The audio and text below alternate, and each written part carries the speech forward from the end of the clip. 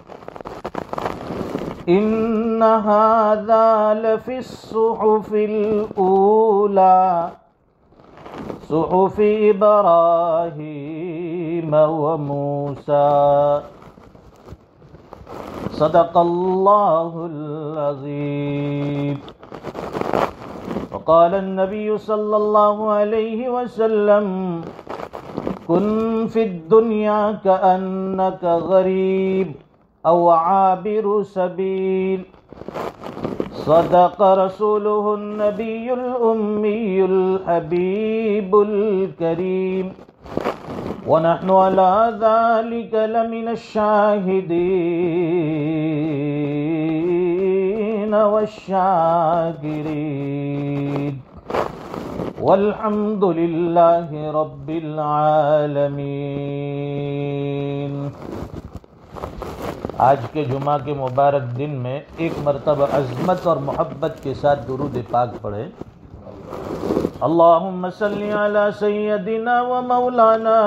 मौलाना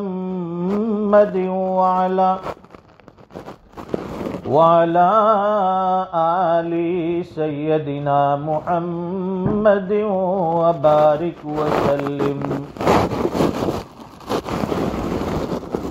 बुजुर्गान मोहतरम वाजिब तकरीम हजरात कराम मिलत इस्लामिया के जवानों, दीनी भाइयों, और घरों में बैठकर सुनने वाली खवातीन इस्लाम।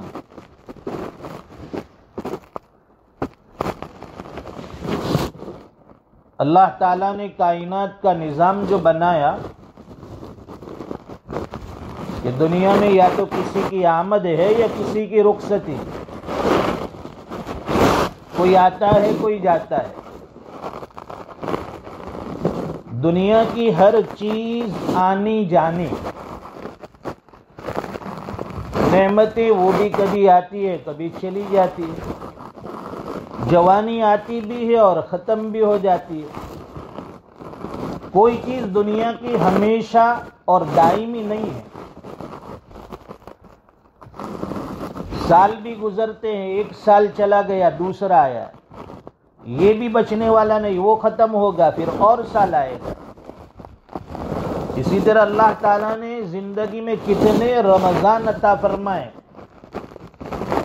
इसी रमज़ान की आमद का इंतज़ार था, हर तरफ़ एक शोर था, एक खुशियाँ थी, एक माहौल था, एक चर्चा था कि रमज़ान आने वाला है, वो अल्लाह का मेहमान आने वाला है। अल्लाह का महीना आने वाला है। अहले ईमान के लिए नेकियों का सीज़न आने वाला है। नेकियों की बहार का मौसम होगा, रहमतों की बरखा बरसेगी।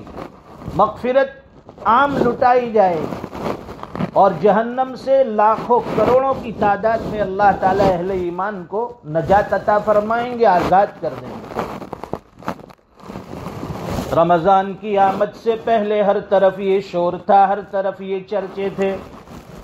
एक खुशी का माहौल था, एक फिजा बनी हुई थी। रमज़ान आएगा हर ईमान वाले का ये जज्बा होता है। दिली आरज़ू तमन्ना और ख्वाहिश होती है कि इस मरतबा का रमज़ान अल्लाह की इबादतों में गुजारूँगा, नमाजों में गुजार दूँगा, रमज़ान के रोज़े भी रखूँगा, तरावी भी पाबंदी से पढ़ूँगा तहजद का भी एहतमाम कर लूँगा। राह खुदा में जितनी तोफीक मिले उस अल्लाह के दिए हुए माल में से खर्च भी करूँगा। हर नेकी का जज्बा था, हर नेक अमल का दिल में दाइया था। कि कोई नेकी छूटने न पाए, रमज़ान इस तरह से गुजर जाए कि अल्लाह की नाफरमानी न हो। कहीं मेरा रब मुझसे नाराज़ न हो जाए। वो परवरदिगार जब नाराज़ होता है, इंसान पर हालात आने शुरू होते हैं। घरों में तकलीफें, बदन में बीमारियाँ, कारोबार में नुकसान, ज़िंदगी बिल्कुल तलख हो जाती है अल्लाह की नाफरमानी की वजह से। हर ईमान वाले का जज्बा था, आने वाले रमज़ान का एहतराम करूँगा।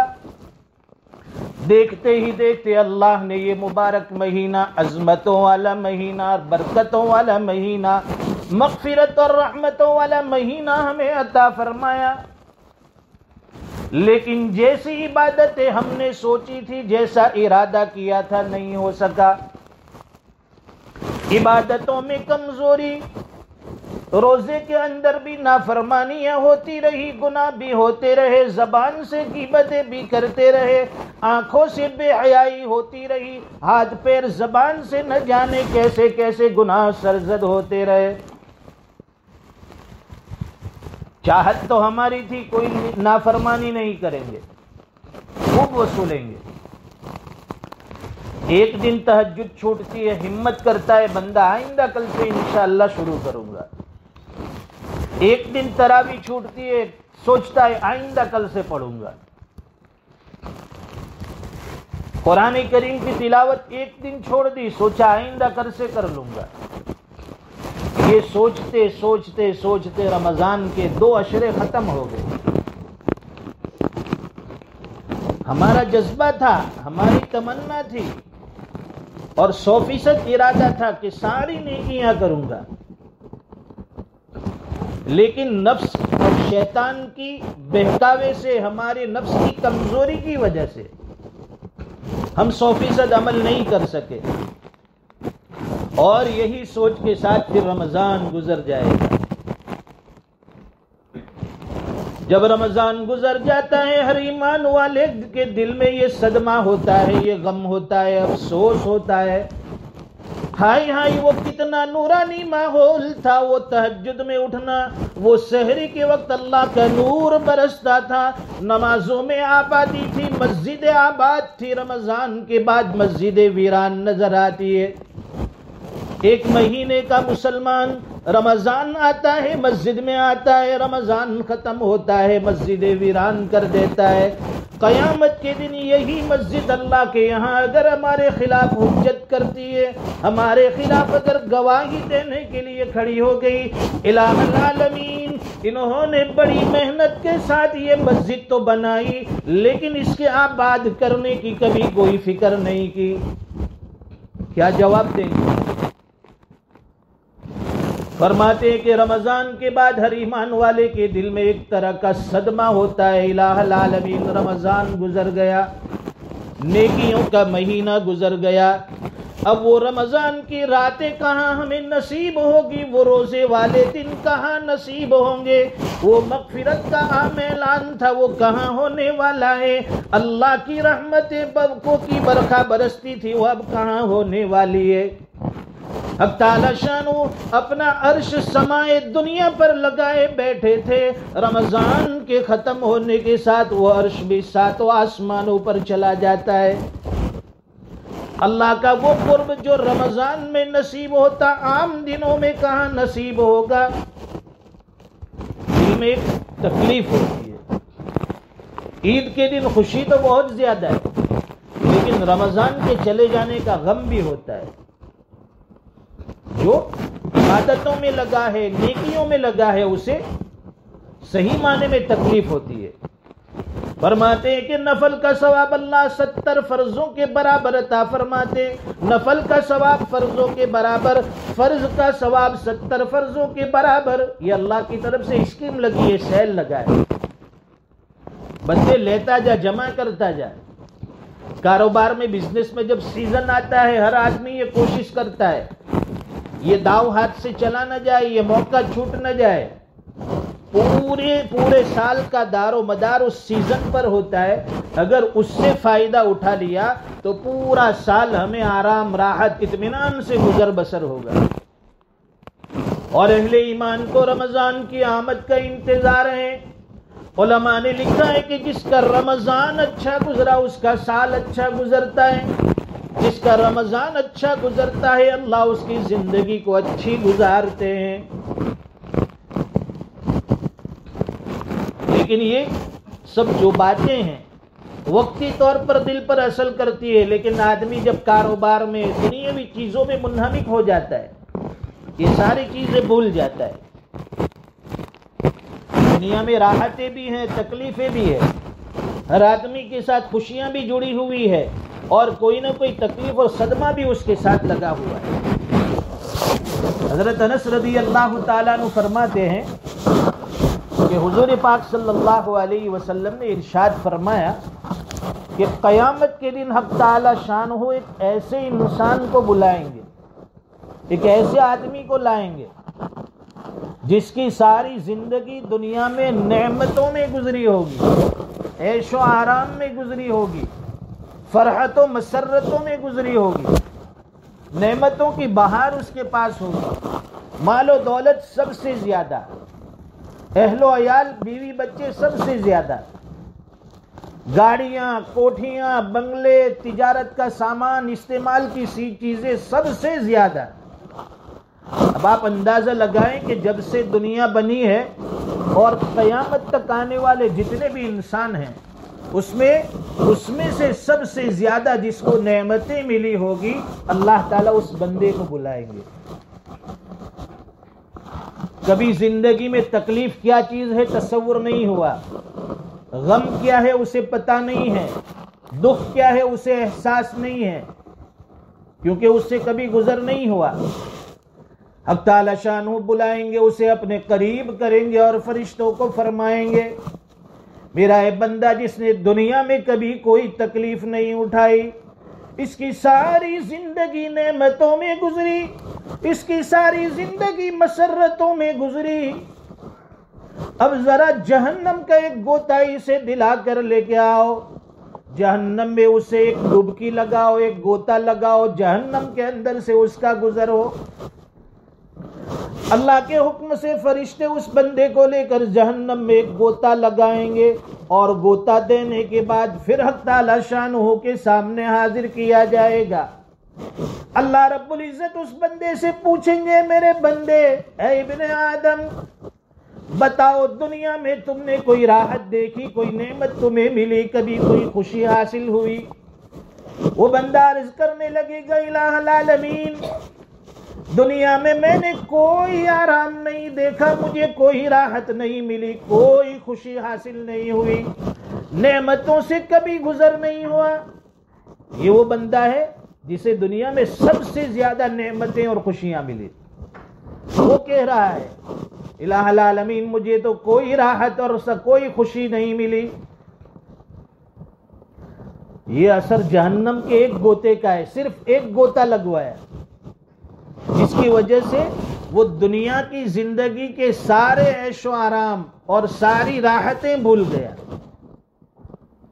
और कहेगा कि मुझे तो कभी कोई खुशी नहीं मिली, खुशी से कभी गुजर भी नहीं हुआ। फिर अख्तालाशान एक ऐसे बंदे को लाएँगे जिसने दुनिया के अंदर कभी खुशी नहीं देखी, कभी उसने कोई नेमत इस्तेमाल नहीं की। हमेशा से तकलीफों में रहा होगा। खुशी क्या है, उसको अंदाज़ा नहीं। आप सोचिए कि दुनिया के सारे इंसानों में वो कैसा होगा। कभी ज़िंदगी में उसने एक लम्हे के लिए भी आराम और राहत महसूस नहीं किया। तकलीफों से गुजर रहा। अब ताला शान फरिश्तों को हुक्म देंगे, मेरे इस बंदे को जन्नत के करीब ले जाओ। और जन्नत के अंदर से एक, एक, एक गुजर करवा दो जन्नत की सैर करवा दो। फरिश्ते उस बंदे को लेकर जन्नत की सैर करवाएँगे फिर अल्लाह के सामने हाजिर करेंगे पूछेंगे मेरे बंदे बता दुनिया में कभी तकलीफ़ परेशानी आई? कभी तुझे कोई गम और सदमा पहुँचा? वो बंदा अर्ज़ करेगा इलामीन दुनिया में कभी कोई तकलीफ़ मैंने नहीं देखी, कोई सदमा नहीं हुआ, कोई अजियत महसूस नहीं की। मैं तो हमेशा खुशियों में रहा, नेमतों में रहा। ये वो बंदा कह रहा है जिसने दुनिया में कभी कोई राहत नहीं देखी। लेकिन जहन, जन्नत के अंदर से जो थोड़ी सी सैर करवाई, एक चक्कर लगवाया, उसकी वजह से वो दुनिया की सारी तकलीफें भूल गया। हजूर पाक सल्लल्लाहु अलैहि वसल्लम के फरमाने का मतलब ये है, ये बतलाने का मकसद ये है कि दुनिया की ज़िंदगी नापायेदार है, इसकी कोई हकीकत नहीं, कोई हैसियत नहीं। माँ के पेट में इंसान रहता है, बच्चा माँ के पेट से दुनिया में आता है। दुनिया में आने के बाद उसे अगर कहा जाए कि तो माँ के पेट में खाता भी था, पीता भी था, अपनी ज़रूरतें पूरी करता था। तो हर बंदा कहता है कि मुझे तो कुछ याद नहीं। वो नेमतें दुनिया की नेमतों के मिलने के बाद इंसान भूल जाता है। कि माँ के पेट की भी कोई ज़िंदगी थी, मुझे कुछ याद नहीं है। और यहाँ आने के बाद दुनिया की नेमतें, यहाँ की ज़िंदगी, मौत के साथ इंसान वो भी भूल जाता है। वहाँ जब जन्नत और जहन्नम देखेगा, वहाँ गुजर होगा, तकलीफ़ वाला अपनी सारी तकलीफें जन्नत को देखकर भूल जाएगा। आराम और राहत वाला वहाँ जहन्नम की हौलना की और तकलीफ़ देखकर सारी नेमतें और राहतें भूल जाएगा। ये दुनिया की हकीकत है। और एक रिवायत में हजूर पाक सल्लल्लाहु अलैहि वसल्लम इरशाद फरमाते और दुनिया की मिसाल देते हैं कि दुनिया की मिसाल आखिरत के मुकाबले में ऐसी है जैसे कि तुम में से एक शख्स समंदर के अंदर अपनी उंगली डुबोए, अपनी उंगली समंदर में डालकर फिर बाहर निकाले। फरमाते हैं कि उसकी उंगली पर जितना पानी लगा है, समंदर के अंदर से उंगली डुबोने के बाद जो पानी लगा है, इतनी भी हैसियत दुनिया को आखिरत के साथ, दुनिया को आखिरत से इतनी भी मुनासबत नहीं है जितने की उंगली पर लगा हुआ पानी है। इसलिए कि समंदर तो फिर भी मुतना ही है, उसका किनारा भी है, उसका एंड भी है, लेकिन आखिरत ला मुतना ही वहाँ की ज़िंदगी ला महदूद ये दुनिया फानी है और हर चीज़ यहाँ की फानी है, आखिरत बाकी रहने वाली है। तो फरमाते हैं कि उंगली पर लगे हुए पानी के लिए इंसान मेहनत करता है। लेकिन जो लामहदूद ज़िंदगी समंदर की तरह सामने, उसके लिए कोई फ़िक्र नहीं। एक अल्लाह वाले ने बड़ी अजीब बात कही, फरमाया, इंसान दुनिया के लिए इतनी मेहनत कर जितना तुझे यहाँ रहना है, और आखिरत के लिए इतनी मेहनत कर जितना तुझे वहाँ रहना है। और दुनिया की ज़िंदगी का कोई भरोसा नहीं, और दुनिया की ज़िंदगी का कोई एतमाद नहीं कि कब चिराग बुझ जाए, कब अल्लाह के यहाँ से बुलावा आ जाए, कब मौत का फरिश्ता करीब आकर कहने लगे कि अल्लाह के यहाँ आपकी पेशी है, दुनिया से चलिए, आखिरत की तरफ़ तुम्हारा सफ़र है। अचानक आ जाता है। अभी यहाँ आने से पहले इंडिया से एक मैसेज आया कि एक हाफिज साहब जो माशाल्लाह रूहानी इलाज कर दे दे और बड़े सोमो सलाद के पाबंद, बड़े नेक तबीयत, नमाजों का अहतमाम दीन का अहतमाम आज जुमा का मुबारक दिन था। जुमा से पहले गसल किया, अच्छे कपड़े पहने, खुशबू इस्तेमाल की। और अपनी वालिदा से जाकर मिले। माँ से दुआएँ करवाई और माँ की दुआ लेकर फिर नमाज़ के लिए मस्जिद पहुँचे। जुमा की नमाज़ अदा की। सलात जुमा से फारिग होकर फिर जैसे घर पहुँचे, अचानक अल्लाह के यहाँ से बुलावा आ गया। चलते फिरते, रोज़े की हालत में दुनिया से रुखसत हो गए, इंतकाल फरमा गए आप अंदाज़ा लगाएँ कि जुमा का मुबारक दिन है। और दोगाना जुमा का भी अदा फरमाया। रमज़ान का मुकद्दस महीना और उसमें भी आखिरी अशरा। और फिर वो भी रोज़े की हालत में अल्लाह के यहाँ जाना नसीब हो गया। ये तो बड़े खुशकिस्मत लोग कहलाते हैं कि जिसे ऐसी मौत नसीब हो जाए। अल्लाह ताला उनकी भरपूर मगफिरत फरमाए, उनके दर्जात बुलंद फरमाए। इसलिए अल्लाह वाले ने बड़ी अच्छी बात कही। दुनिया के ए मुसाफिर, मंजिल तेरी कबर है। हमने दुनिया को अपनी मंजिल समझ लिया। दुनिया के ए मुसाफिर, मंजिल तेरी कबर है। तय कर रहा है जो तू दो दिन का ये सफ़र है। ये दो दिन की ज़िंदगी। दुनिया बनी है जब से लाखों करोड़ों आए, और बाकी रहा न कोई। मिट्टी में सब समाए। इंसान ये सोचता है कि अभी मेरा फला काम बाकी है। फला मेरा कारोबार वहाँ तक पहुँचाना है। फला प्रॉपर्टी डील करनी है और फला जगह मुझे पहुँचना है, ये ये काम बाकी है। ये सारी उम्मीदें करता है, तमन्नाएँ बांधता है, आरजुए लगाता है। लेकिन अल्लाह का फरिश्ता अल्लाह के हुक्म से आ जाता है कि दुनिया की सारी चीज़ें छोड़ दे। अब तेरा आखिरत का वक्त करीब हो गया। अल्लाह के यहाँ से तेरी पेशी का बुलावा आ गया। कुरान करीम में अल्लाह फरमाते हैं फ़ैदा जाजलुहुम ला यस्तखिरून साअतन वला यस्तक़दिमून कि जब अल्लाह की तरफ़ से मौत का हुक्म मिलता है, इंसान का एक घड़ी भी आगे और पीछे होने का उसे मौका नहीं दिया जाता।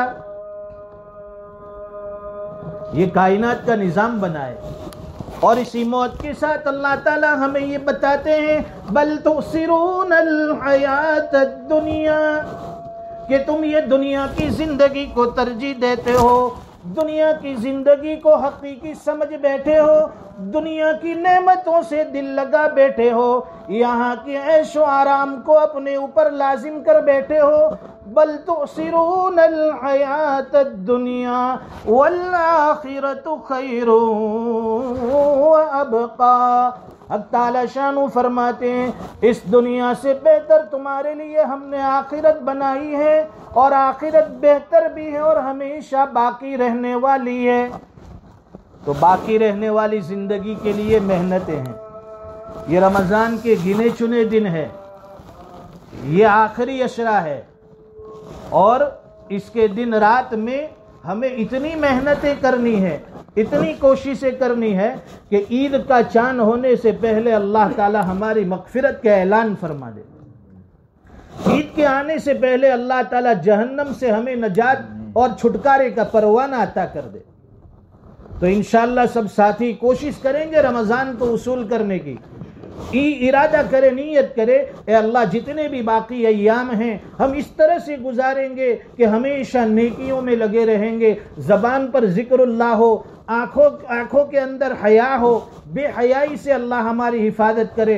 दिल, दिमाग और हमारे जहन के ऊपर कोई गुनाह का तस्वुर ना हो। बस हमेशा ये दस दिन इस तरह से गुजारे जैसे एक मोतकफ आदमी एहतिकाफ के अंदर रहकर गुनाहों से बचता है। बाहर की दुनिया की जो बुराइयाँ हैं उससे बचता है। बस हमें बाहर रहकर भी इस तरह से जीना है और ज़िंदगी गुजारना है कि गोया के हम बाहर रहते हुए भी एहतिकाफ में हैं। tiene अल्लाह ताला नेकियों का इश्क अता फरमाए। कितने लोग जो पिछले रमज़ान हमारे साथ थे, दुनिया से रुखसत हो गए, और ये कितने लोग इस वक्त वहाँ मौजूद है? हो सकता है आइंदा रमज़ान आए, हम में से किसी का बुलावा आ जाए। उस वक्त के आने से पहले इंसान अपनी ज़िंदगी की कदर कर ले। ये बड़े कीमती लम्हात है। अल्लाह ताला अपनी ज़िंदगी की कदरदानी नसीब फरमाए, मौत की हकीकत समझा दे, दुनिया पर आखिरत को तरजीह देने वाला बनाए, और दुनिया की हकीकत हमारे दिल दिमाग में अल्लाह ताला ऐसी जमा दे कि इससे कभी हम गाफिल ना हो, कभी हम धोखा न खाए और अपनी आखिरत हम कहीं तबाह बर्बाद न कर दे। हफ़्ता शान हो कहीं सुनी बातों पर अमल की तोफ़ी अता फरमाएँ। वाखिर दावाना अलहमदिल्ला